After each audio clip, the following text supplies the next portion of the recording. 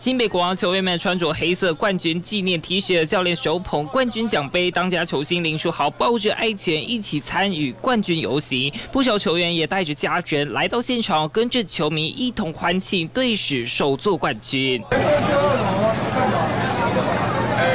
天气下着小雨，但仍有死忠球迷撑伞在外守候。不少人都是一手撑着伞，一手拿着相机抢拍国王队球星。新北国王在 Plus League 总冠军以四比一击败了桃园领航员，拿下年度总冠军。二十三号下午三点，新北国王球员搭上游览车，从新庄体育馆举行冠军游行活动，并邀请球迷一同享受冠军气氛。游行活动持续一个小时，球迷也一路力挺到底。天候不佳，但球迷依旧享受在冠军气氛中，因为对于国王球迷来说，队史第一冠真的得来不易。东新闻梁旭堂、刘伟成、林英洲在台北报道。